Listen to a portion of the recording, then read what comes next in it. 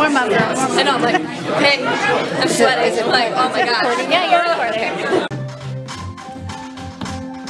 And you see the faces of like the kids in the audience like responding and excited to be there and like the eyes light up. I feel like I feel like that's kind of what's gonna happen. Like there's some kids that probably have never seen theater before, and so that might be some of their first experiences.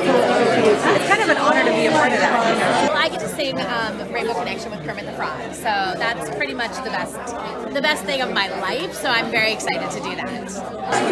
Oh my gosh, I think the scene I'm most excited about is the monkey scene um, because we're gonna have these big like fluffy ears on and it's the very it's at the top of act two I believe and um, Yvette is our wizard like just sitting in the middle and she's like petting us and we like made like a Beyonce like moment so I'm super pumped for that. Yeah. I think just all the dance numbers and the singing and everything. I mean, it's a super amazing show, and I love like that I'm a part of it. And yeah, I'm super excited to for you guys to see the dance numbers because that's my favorite part. Um, my go-to dance, I have a go-to pose, and I'm always like standing like this, um, or like this, because I'm Dorothy. I have my hands on my hips. I have a great number when we in the street, and it's great because I mean, I don't get to dance that much. I mostly do comedy. But Yeah, well, I'm just into like sort of flailing my legs about. So anytime they give us a step, I just add a little more leg to it and bounce about a bit. Uh, I'm finding it uh, way more difficult than I thought I would uh, at my age to be bouncing around as much as I am, but uh, it's fun as long as I stretch first.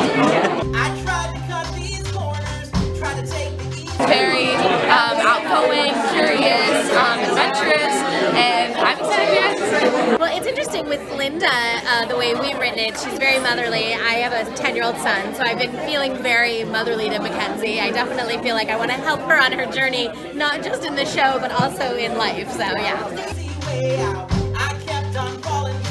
Number one thing I need backstage is my steamer, the personal steamer.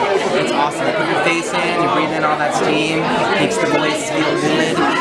Besides like water, Like water, snack, phone, whatever. Like, I love snacks. there. I eat all the time. I want like lip bars and bananas and apples and that's it. so, like a whole fruit basket, guys. Basically a fruit basket.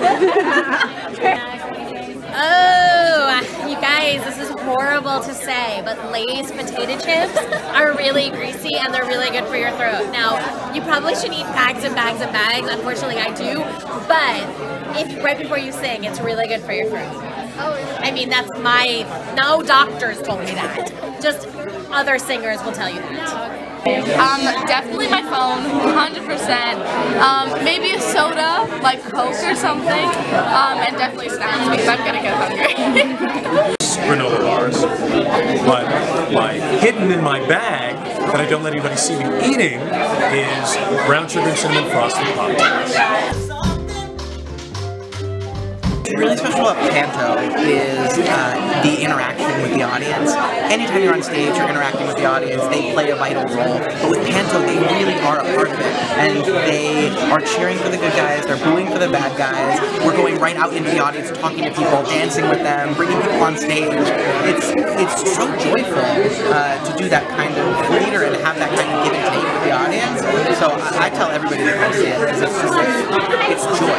It's joy encapsulated. I think the best part about this Panto show, and specifically Wonderful Winter of Oz, is the integration of all the characters. You know, they're really trying to like come in and like do a lot of our dance steps, but then like break out and like be back in their character. But there's also like lines and everything. So I think that's going to be a really great surprise for everyone to see all of a sudden like the scarecrow jump into dancing. So I think that would be cool. I think anything that brings art and music and theater and just like the love of art to kids is so powerful and such a great. This is definitely way different than anything I've ever done because I'm singing, dancing, and acting on stage in front of a bunch of people live, especially because I'm used to um, acting on like TV or singing in front of a crowd or you know something different. But doing all three at once is definitely a challenge. But um, I love it so much, and I love theater, which I never thought that I would, but it's really awesome.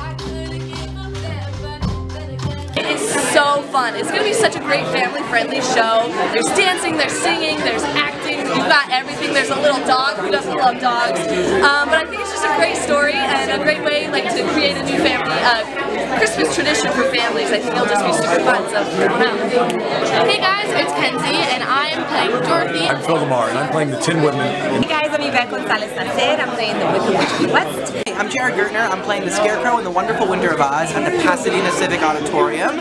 And we're running from December 14th to the 30th, and you have to come see us. It's going to be probably the most fun you've ever had.